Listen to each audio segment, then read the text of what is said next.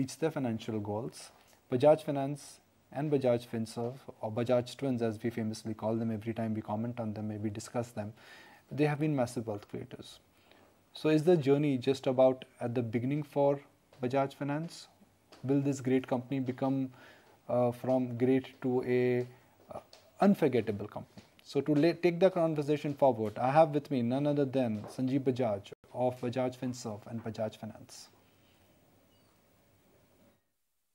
Thank you, uh, Nikunj, thank you for those uh, kind words for Bajaj Finserv and Bajaj Finance. But really, today is the big day for ET Now. Congratulations on your uh, 13th uh, anniversary.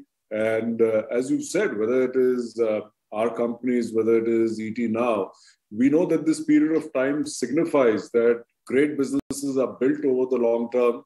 They are built with quality, they are built with a focus on costs as well but more importantly, they're built with a complete focus on what customers of today and tomorrow want and uh, what's the best possible manner for us to deliver it to them.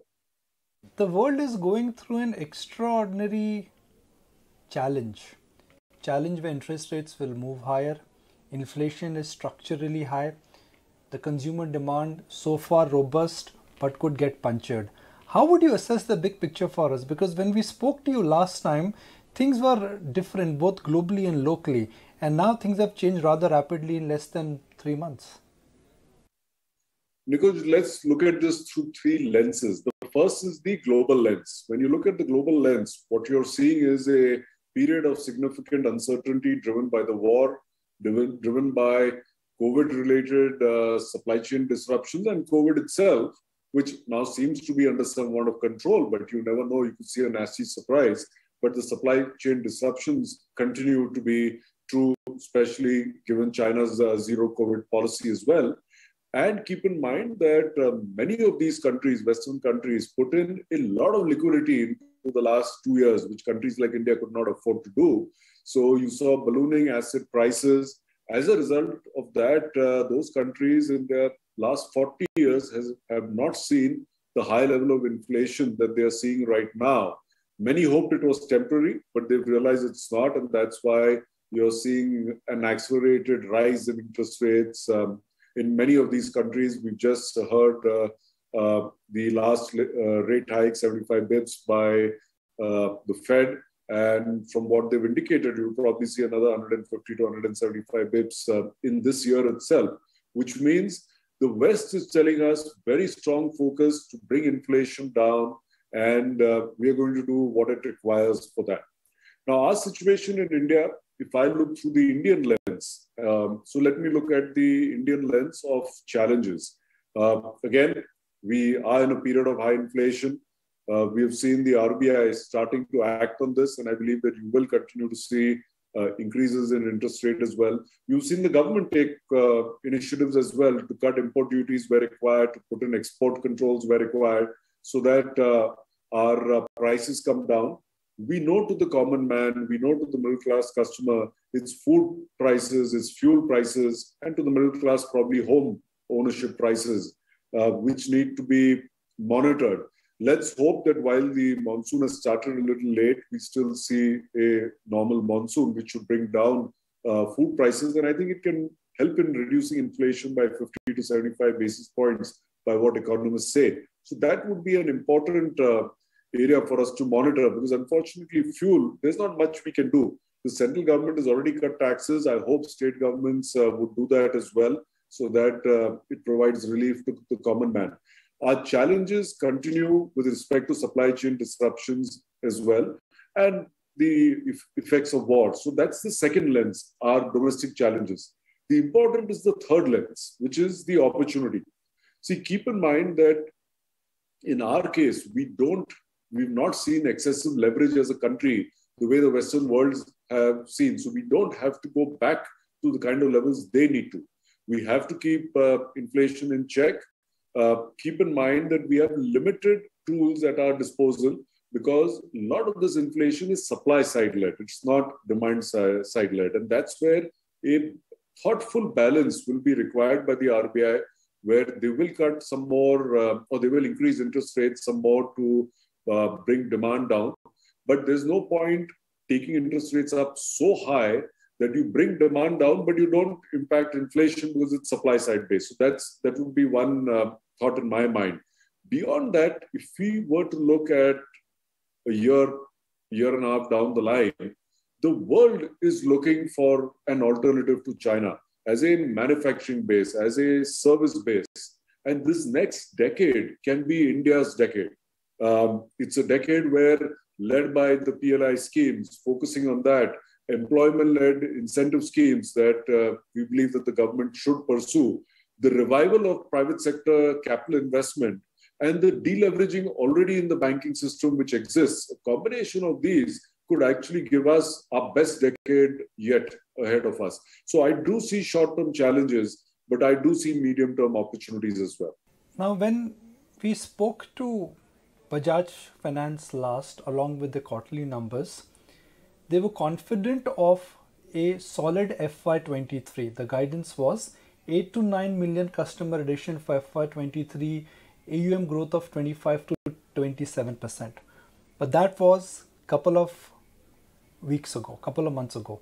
A lot has changed after that. Are you confident that what you've shared with us at the beginning of the year in terms of an forward guidance and indication that is intact? Well, at this point of time, uh, we continue to see overall uh, reasonably robust uh, numbers on the growth side.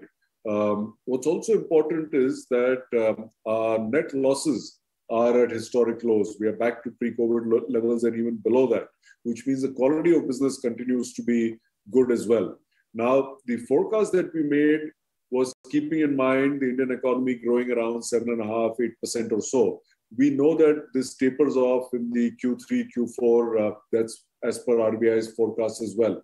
So a lot will depend on where inflation uh, heads in the coming quarters and where interest rates, uh, interest rate hikes uh, go. Based on that, if you believe that we need to revise our forecast, we will, will come back. The fact that interest rates are moving higher and you also increase interest rates uh, could there be a challenge in terms of managing NPAs or we are nowhere close to that challenge? You know, this will differ uh, from uh, company to company depending on uh, uh, what quality customers you lend to, what income segments they are in, how leveraged they are in. Uh, we don't see that as a challenge at this point of time, given our significant focus of lending in the middle class given our focus on data and our ability to monitor their leverage, overall leverage position through credit bureaus and other means.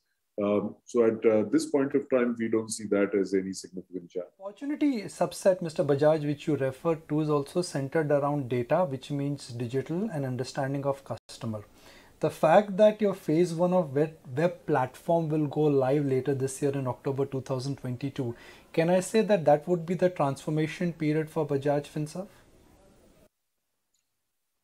Absolutely. The phase one live that goes, uh, that should go in the third quarter. And we then by the and by the first quarter of next year, we have the phase two as well, which were a set of additional features that we believe were, were required to keep us at the forefront of what we are offering. Uh, a combination of this really is what makes Bajaj Finance a real fintech, a company that is steeped in the capabilities of a financial services company, but that is also leveraging this digital world, that is leveraging this uh, technology, not just for a frictionless experience for our customers, not just for instant loans for them, but also in the way that our employees interact with customers, with each other, the way that our entire collection effort at debt management works with a high level of transparency and quality. Um, our uh, payment system and our payment gateways, which will allow customers to use our services a lot more than they do for loans, for example, or the entire merchant ecosystem that uh, we have built over the last decade and a half, um, making it easier for them to work with us uh, using specific digital properties or platforms that we have built for them. So what you what we talk about and the phase one of our three-in-one platform is what we see is only for the consumer, but there are parallel efforts that are already in place for the entire ecosystem. And we believe the way this works together in a synchronized manner is what gives us that competitive edge. You know, I've had the pleasure of tracking uh, Bajaj Finance very closely. And I've tracked the numbers, and barring the COVID downturn, the growth for Bajaj Finance has been a robust 25% plus, barring some exceptional quarters of because of COVID. So my question is that what point in time do you think law of averages would kick in? Because the base with each passing quarter, since you're growing between 20 to 25%, is also growing higher, which means in less than three years you're actually doubling your base. So to maintain this growth rate uh, might be a mighty challenge.